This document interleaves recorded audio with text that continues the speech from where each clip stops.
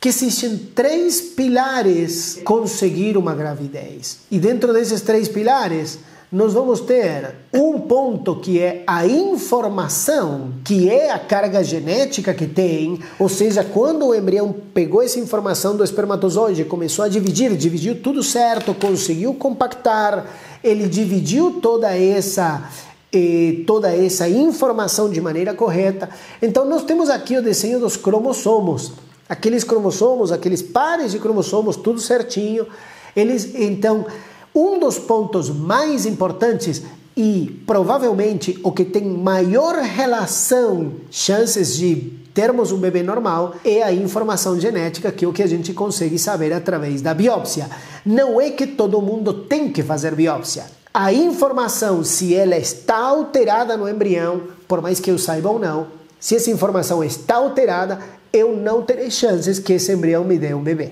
Então, Sim, precisamos da informação correta para que ele me dê um bebê. O segundo ponto para a gente ter uma evolução desse embrião nós precisamos de um ponto que é, um, é difícil de entender, que se chama energia. Eu coloco como três pilares: o primeiro pilar, a informação do embrião, o segundo pilar para a gente conseguir a gravidez é a energia do embrião. Não adianta que eu tenha um embrião, por exemplo, de uma classificação muito baixa, ou seja, com poucas células, pouco expandido, pouco evoluído, que ele tenha é, correta, mas que como tem poucas células, ele tenha pouca energia, ou seja, a força, a quantidade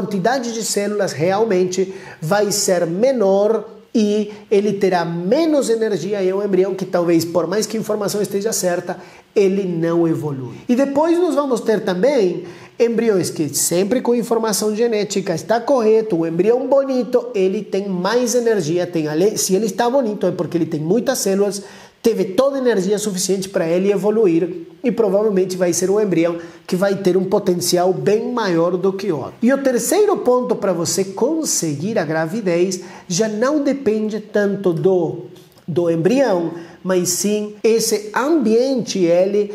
é,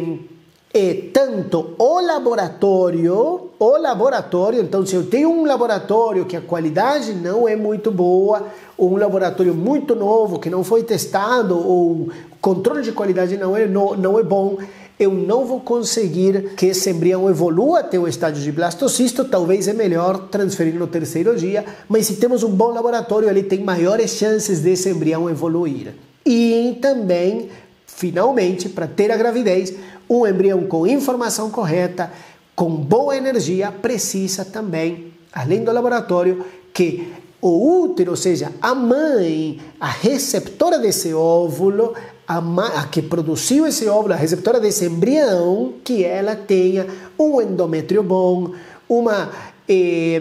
níveis hormonais corretos e que esse endométrio, esse útero esteja preparado e em equilíbrio para receber esse embrião e conseguir uma gravidez.